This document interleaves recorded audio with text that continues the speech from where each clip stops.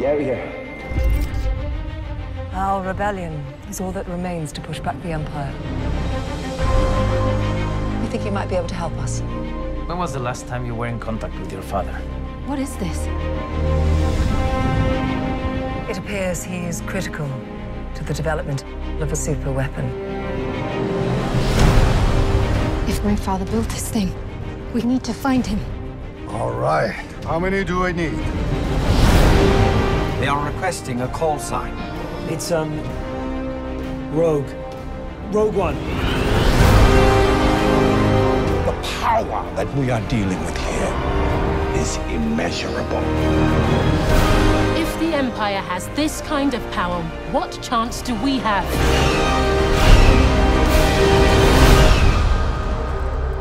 We have hope.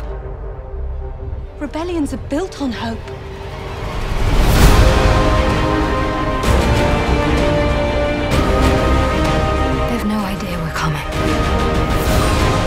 Take hold of this moment. The force is strong. Make ten men feel like a hundred. We'll take the next chance. And the next. You're rebels, aren't you?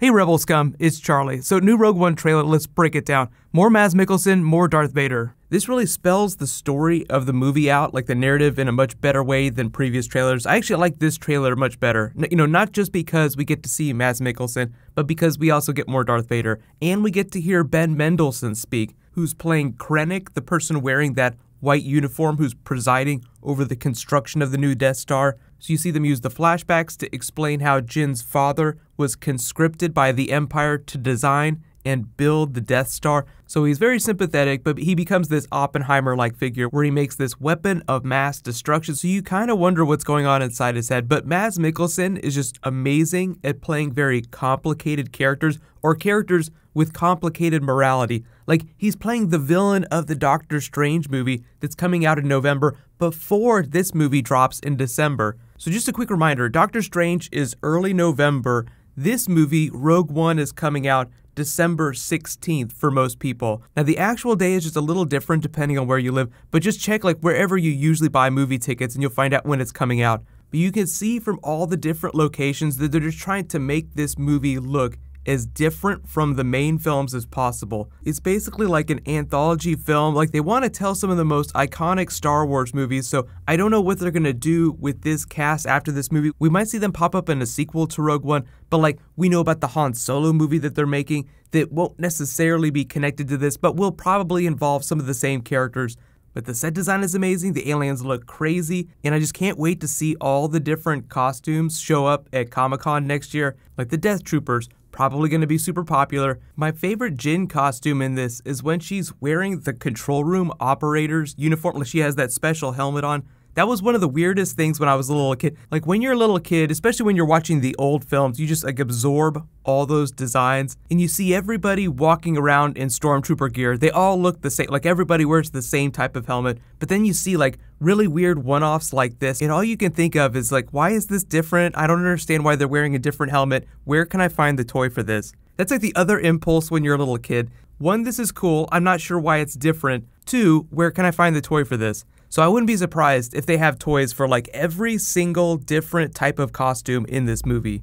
We hear a little more of Alan Tudyk's sassy droid. Can't wait to hear more from him. He's kind of like R2D2 if he were giant and made for murdering people. But you kind of get the idea from some of the voiceover from the Rebel characters. This is still very early stage. The way they explain it is there's still a bunch of different Rebel cells all over the galaxy that just communicate very briefly, but they don't actually move around like one giant big fleet. So this is like the Dirty Dozen, Ocean's 11 coming together of a bunch of different people from different Rebel cells.